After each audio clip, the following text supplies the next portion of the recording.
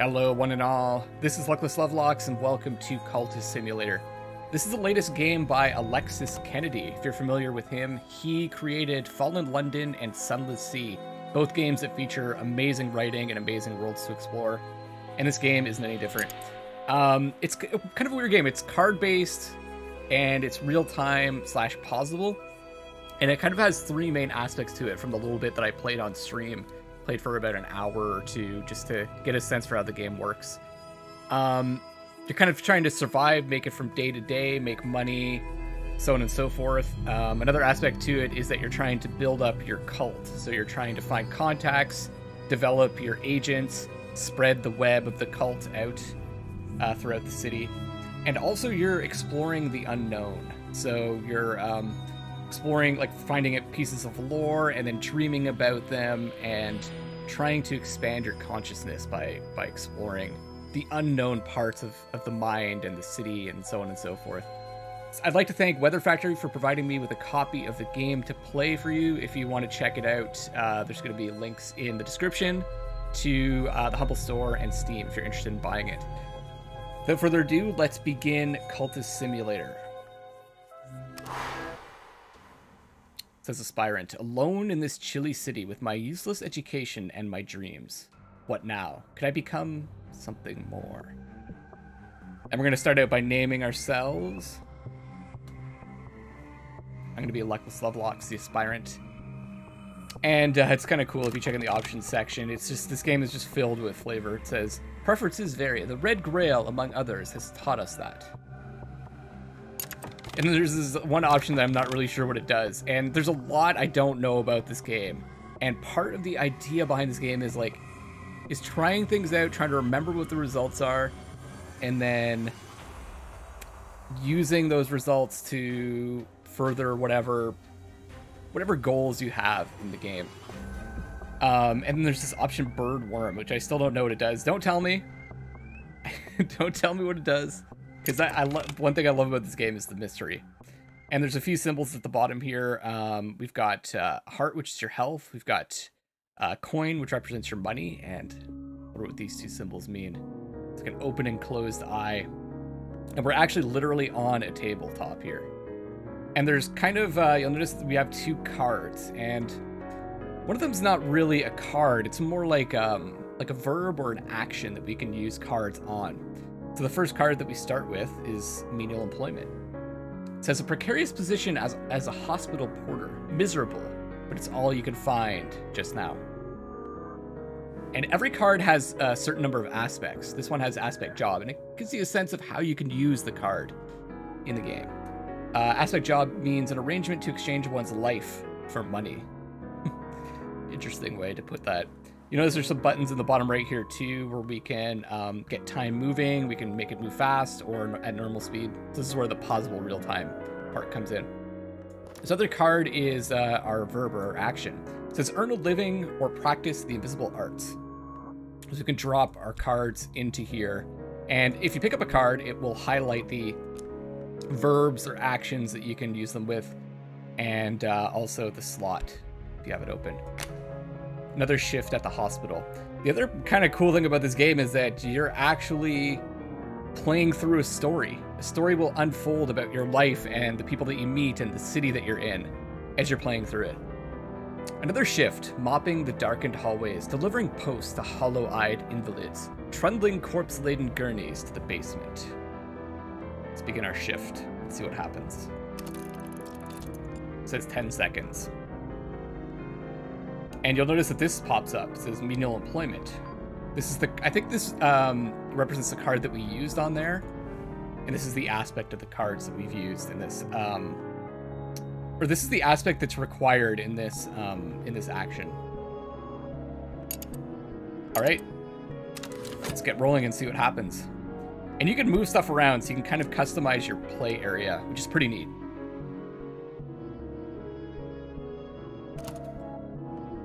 Pause it. So this has spawned another action. This action is recall my dreams. Once again, I dream of a glow beneath the filthy skin of the world, the light through the black wood, the pale door, the old man. That's going to come up in 18.6 seconds. And um, the result of this work is um, it says halfway through your shift, the head porter beckons you aside. We won't require your services any longer, he says. Here, your last payment. I have lost my job. At least now I have little time to rest. Or I have a little time to rest, and my health improves. And we've unlocked Dream. That's what this is. So we've unlocked a new action, Dreaming. And we've got two cards. We've got Health, which I'm going to drop down here, and Funds.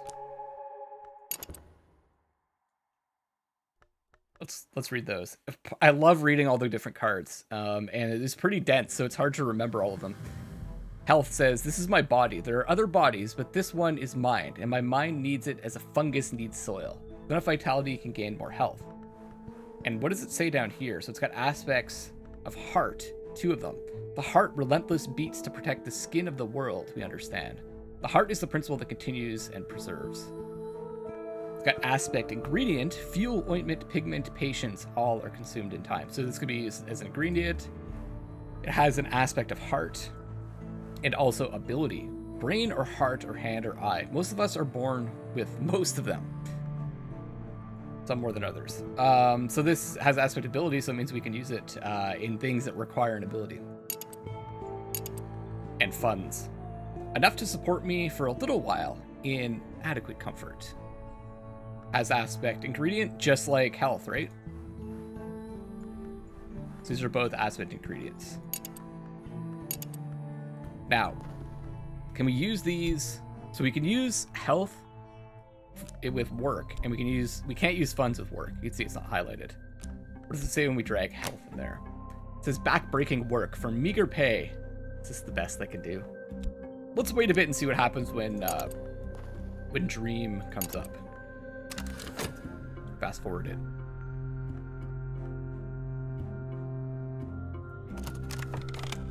We spawned another action. It says time passes. I need funds to live, but perhaps this recent upset in my circumstances is a secret blessing. Is there something to my dreams? There's a change in the air.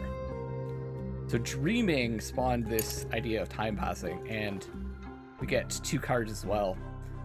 It began when I spoke to the old man in the hospital. He knew my name, but he's dead now. The pneumonia. Why do I dream of him still? What is the cobalt light in my dreams? That starts time passing. We get two cards, Contentment and Passion. And we'll, you'll notice that Passion is at the bottom there, so that's one of our primary resources. Passion says, dull minds are never either intuitive or mathematical. Blaise Pascal. What aspects does it have? It has aspect, ability, moth. I knew a man who captured moths in a bell jar. On nights like this, he would release them one by one to die in the candle. Moth is the wild imperialist principle of chaos and yearning. Everyone, everyone remembering all this stuff, and, and it's also ingredient. There's, there's just, there's so much this game. And contentment says, "I'm happy." I think.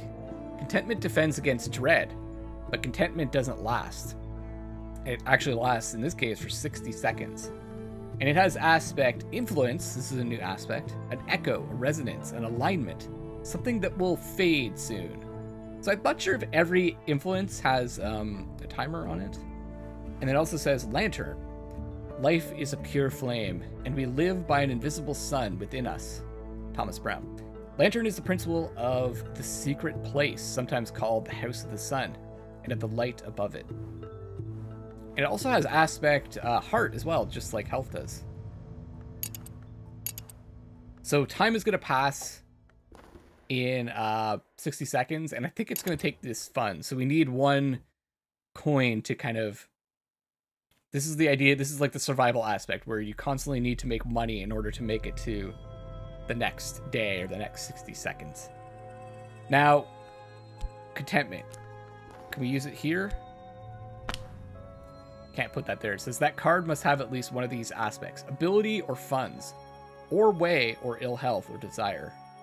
So we can dream about an ability, money, uh, way, ill health or desire. We have funds. And uh, do we have ability? An ability. Oh, health. So we could dream about funds. What does it say? It says purchase a tincture of opium. In times of a special crisis, I might visit a discreet pharmacist to purchase a tincture of opium and make my dreams sweet. But only in times of a special crisis. This is an expensive and risky way to gain contentment. Might provoke sickness or despair. And it said here that it uh, defends against dread, so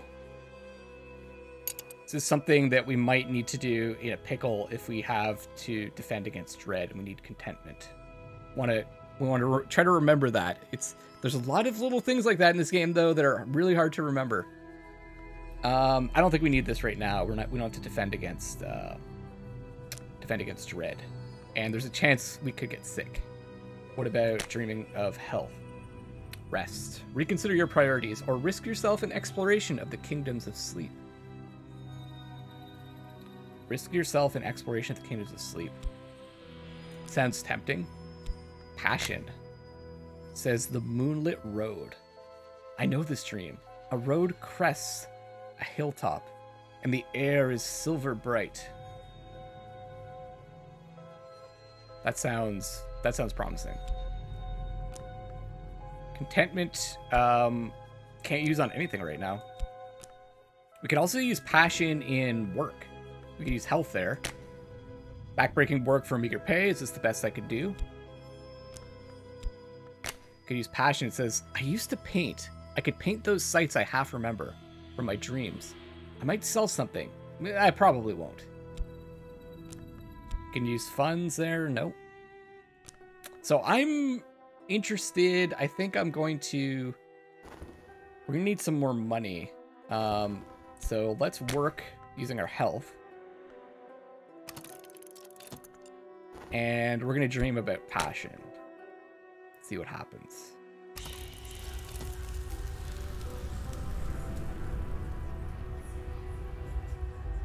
It's a moon that appears. And it says, I know this dream. Road crests a hilltop in the air is silver bright. So that's the same thing as it said before. And it says lore. There's a slot here for lore. If I engage in an occult practice before I sleep, I might find the way to deeper dream. So it's looking for a card with aspect lore here. Or it also says, Way, the wood. I've learnt the path to the wood, the tangled darkness that grows around the walls of the Mansus. Though the Mansus has no walls, I can dream with this to return to the wood. This can only exist once. I don't know what that is yet. But we don't have any lore to use, so let's see what happens if we just dream about about uh, passion alone. Oh yeah, I'm not sure. Did I read this? With enough glimmering, you can study to gain more passion. We don't really have anything to do. We're just waiting for time to pass. Our work to be completed and our dreaming to come to fruition.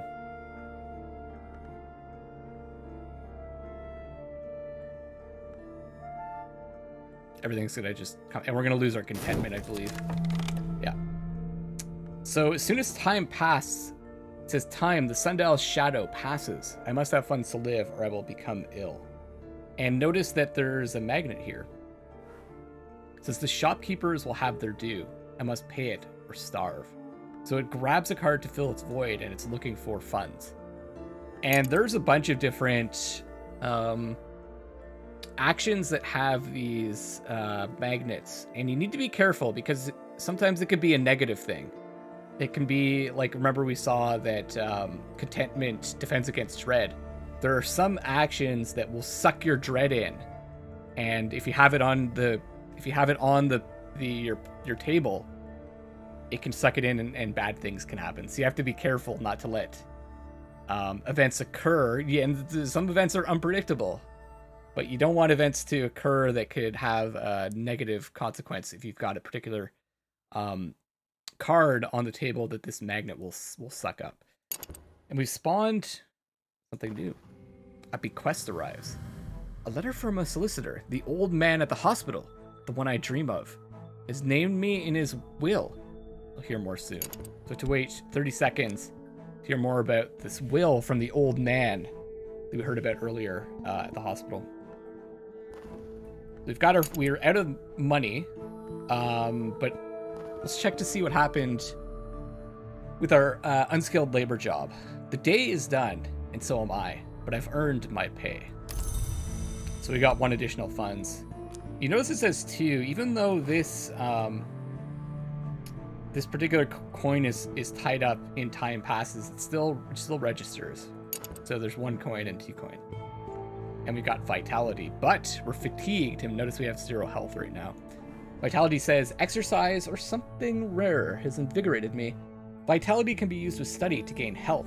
It lasts only three minutes if unused. Has aspect advancement, a taste of what might be.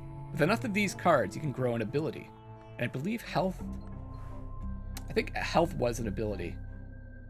And this has aspect ill health. Perhaps I can rest and recover. Work. Unfortunately, I don't think we can work. So we're using our health to work. So we'll have to wait on that. And I'm going to just throw vitality down here. So there's nothing we can do with work. Um, this dream is about to come up. It's exhausted our passion, though. And then we're waiting on um, the bequest.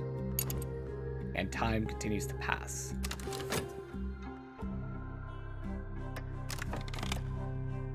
We're still dreaming. It says Herso's nightmare. Down I go.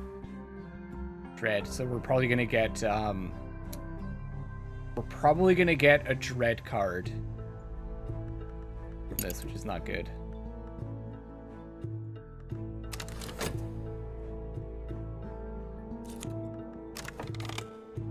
I remember that Herso wrote this. I've levered up floorboards and wriggled down snugly. Now I am compressed beneath them like a hidden corpse. The air stinks of hot dust. My mouth is full of splinters. This time I haven't learned what I hoped to learn, whatever that was. So we exhausted our passion, um, and we got dread. I've seen too much. A nameless gnawing fear has its teeth in my hopes. An existential horror. Has aspect edge. All conquest occurs at the edge. One who dwells there is blind and cannot be wounded. Another is strong and grows stronger. Edge is the principle of battle and of struggle. Interesting. Sometimes these aspects give you a hint as to how to use them, right? One who dwells there is blind and cannot be wounded. Another is strong and grows stronger. It's an influence. Ill health, much like being fatigued, as aspect ill health. And induces despair. Can we use it with anything? We can dream about dread. I remember that I was different, but I can't yet remember how. Dread can be restored to reason with the correct resource. So, um, it, it's looking for a reminder. I need a little peace or a moment of happiness. Too much dread will destroy you. Contentment can cure it. So it's looking for contentment. So if we have contentment, we can pop that in here with dread, and it will. it sounds like it will restore it to reason. So you can see that like some cards have um have a cycle to them. But uh, we can't do that. I don't know if we just want to dream. And I don't think... Yeah, we can't even start to dream about Dread without that.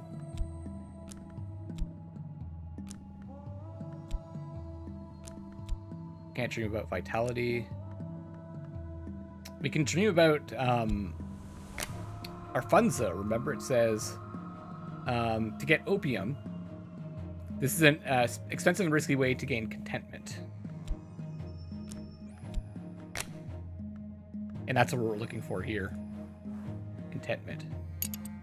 So, should we try to dream about funds to get contentment, to get rid of this dread? Let's try. This game is all about experimenting, so let's give it a shot. 30 seconds. Um, we're about to get our bequest.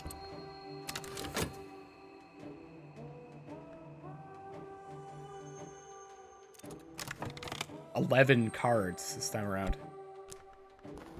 The old man has bequeathed me a sum of money and a packet of peculiar papers, poetry, riddles, metaphysical speculations. For the first time in months, here's some fuel for my reason. And we've unlocked study. We've got nine funds. If you want to uh, move a stack, you could just select the uh, the number there, and you can stack similar cards on top of each other. So we've got a bunch of money, so we should be able to survive for a little while without having to work. And we've got our reason back. Or, sorry, a new reason, I should say. Um, and this bequest. A package of peculiar papers from my correspondence executor. I must study it using either passion or reason. Well, our passion's exhausted, but it's going to come back in 51 seconds. We could use our reason to study it. Um,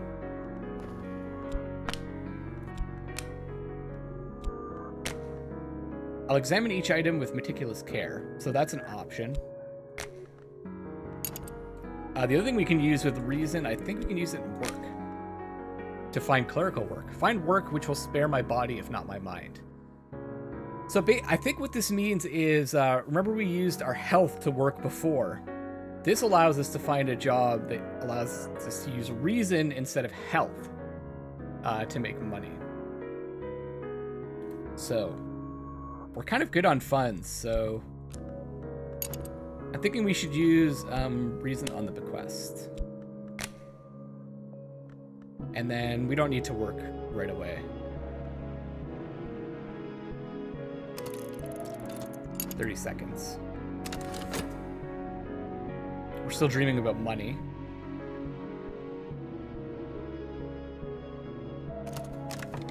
Ah. We got contentment. Oh, that deep peace. But I should not do this again. So we got our tincture of opium. Our contentment. Now, no. Our health is almost back. Now this spawns something else though. It says the place behind desire. Is there something to be learned from the satisfaction of desire? We're to find out in 30 seconds. We can um, dream about this dread and use the contentment. Remember that I was different before. What does it say about dread? Existential horror. Contentment defends against dread, but contentment doesn't last. So let's let's do this. Should get rid of our dread. I'm curious to find out what's going to happen in this place behind desire. And we're not going to work yet. Four seconds, a couple things are going to happen. We're going to have to uh, get some more money. So you see, as soon as it's expired, sucked up that money. So now we only have eight disposable funds.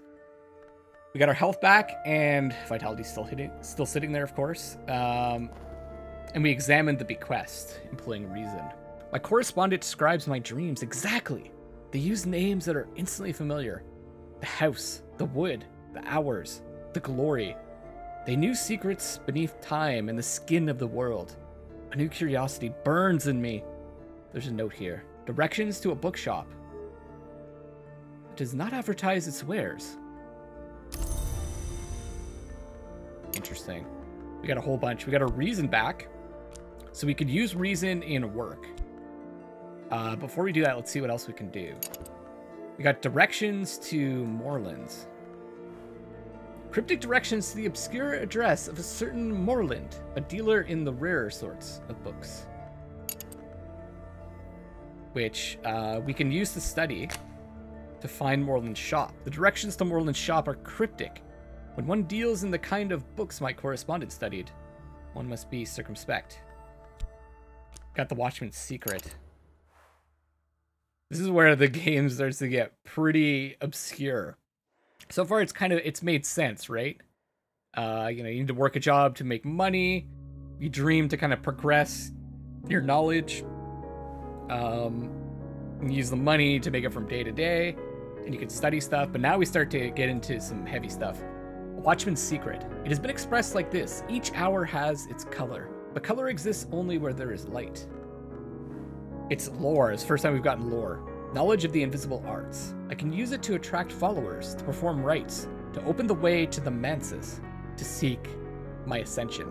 Lore fragments can sometimes be upgraded with study with matching fragments. So we could study it, but we need a matching lore fragment.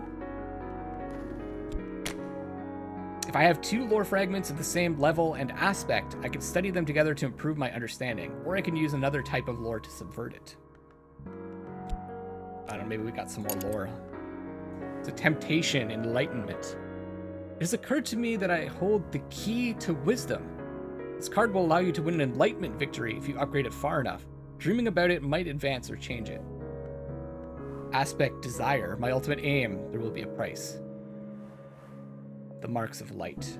I may seek immortality and enlightenment in the hour called the Watchman. His touch brings particular appetites and marks. Remember this all came from that old man?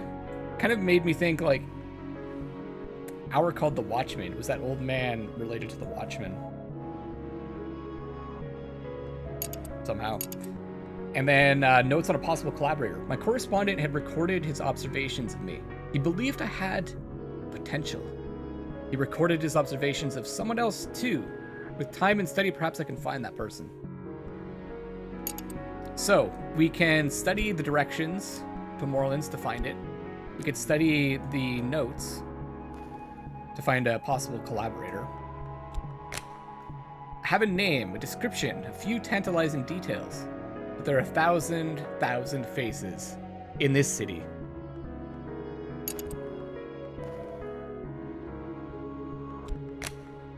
Directions to Morland's shop are cryptic. One deals in the kind of books. Yeah, we already read that one. Um, can we use these in anything else? Doesn't look like it. Watchman's Secret. That's the lore, right? Can't can't really use that on this. We can't study X. We can't. We don't have anything to use it with got enlightenment. Oh, interesting. We can use it as work.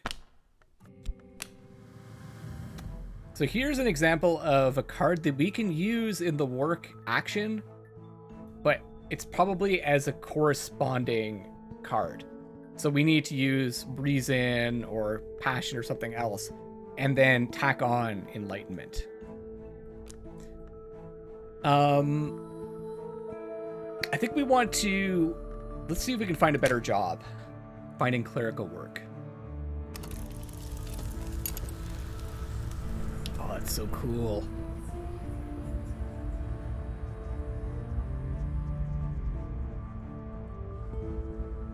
It'll take us 10 seconds to find a new job. And... Not quite sure what we want to do next. If we want to find... Um, Morland's or a collaborator. I'm pretty tempted to find... I think I want to find Morland's. I'm thinking that we can find some more lore at the bookshop, maybe.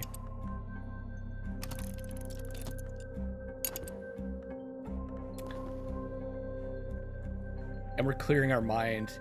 That's right, we're getting rid of the contentment, or sorry, we're getting rid of the dread using the contentment, and then waiting the results of this place behind desire. See what happens.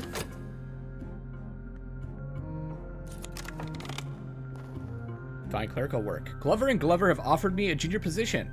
I start at 8 sharp tomorrow morning. We got our reason back. That's good. And we got a new a new card.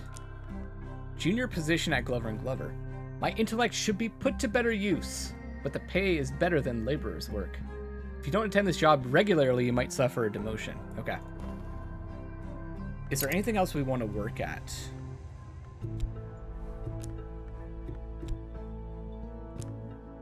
What happens if we throw reason back in there? We can't. So we use that to find um, the clerical work, and now it's a supplementary card. So let's work our new job. The scratching of pens, the sourness of dust, the sighing of the young glover, the greedy gurgling of the elder. Diligence. Extra effort, it might help sometimes. Oh, there we go. So we can pop reason in there. I will apply extra effort, perhaps they'll appreciate it. So there's there's an example of using like a supplementary card to enhance the action. And uh, I think you can like get promotions and stuff like that. I'm curious to see what's gonna happen when this expires. Let's, let's continue. Notice our passion is exhausted, but it's gonna be coming back in three seconds. There it is. This is something like enlightenment. Oh, we got a glimmering card. And that disappeared. Similar to passion, right? You can see it's almost the same card. My emotions run higher than usual. There are things I'll never understand, and those things will always be precious. But just now I am closer to them. Glimmering can be used to study to gain passion. It lasts only three minutes if unused. So we might want to study this. I personally kind of like putting the cards that I'm going to uh, use that action like around them just as a reminder because you'll see as we progress, you get so many cards and it's hard to remember what you wanted to do. Um, I kind of wish that they had added like a way to like write notes on the on the play surface. That would be kind of cool.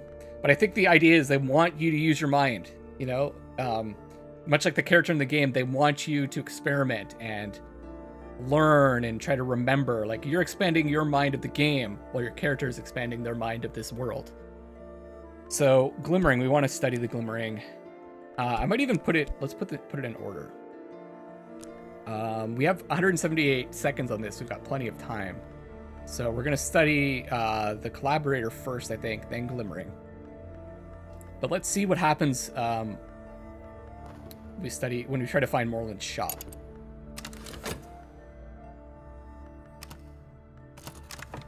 Ah, a new action, explore.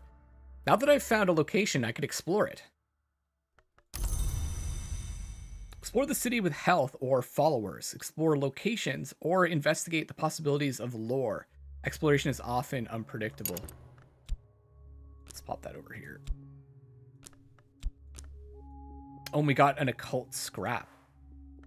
Secret histories are layered beneath the one we know, like the notes in rare wine. This is a detail from one of those histories.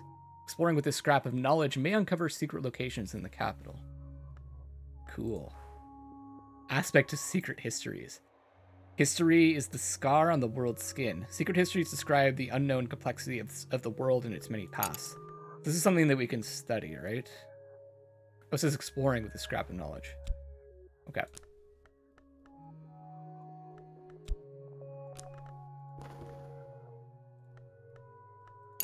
And we studied Morland's shop. An ill-lit street at an ill-favored bend in a lesser river. A soft yellow light through a grimy window. Mr. Morland nods as I enter, but doesn't rise. I never ask the names of my clients, she informs me, before I have time to introduce myself. Unlocked Explorer. Here's Morland's shop. The dim premise premises of Mo Miss Morland, who deals in rare and sometimes dangerous books. Can only exist once. It's a location aspect. So we can explore this using this. Uh... Oh, we could study it too. Improve my knowledge of the invisible arts. If I have two lore fragments. Oh, this actually is lore.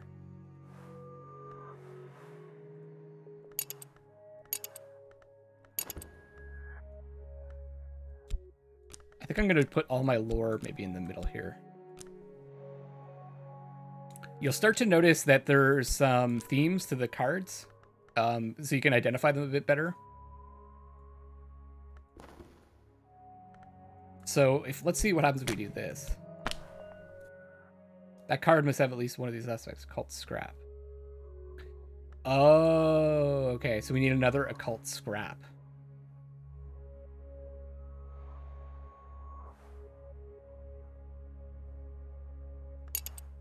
So what happens if we do it the other way around? Watchman's Secret, which is a piece of lore. Oh, it has to have at least one of these aspects. Watchman's Secret or a Smith's Secret. Ah. Because it's not it's not the same type of lore. Okay.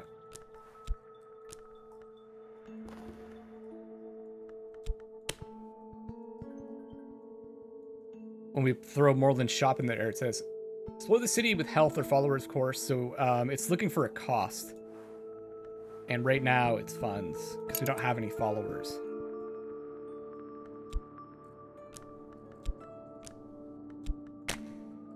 Or we can explore this. There are places in the city where I can find extraordinary things. If I can sift through the clues out of history and rumor. Hmm.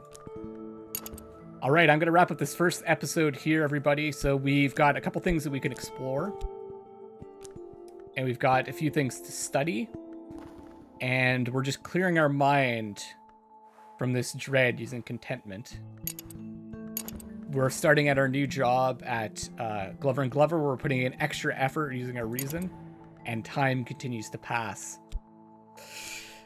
And uh, we've got this temptation in the back of our mind, possible victory condition, and some lore to explore. I always ask this on my first video for a new series. You guys can like and subscribe. It's the only time I do it. First video in every series. It really helps other people to find my channel Hope you're enjoying this. This is a really cool game. There's it's pretty complex. There's a lot to absorb. So let me know if you have any questions in the comment section or if you have any tips about the game or suggestions or anything. I'm I'm cool. I'm open to them. Just don't spoil the way that the game goes if you're familiar with it. Check in the description for links to uh, the games uh, on the Humble Store and the Steam Store if you're interested. This is Luckless Lovelocks signing off for now, and I love you all.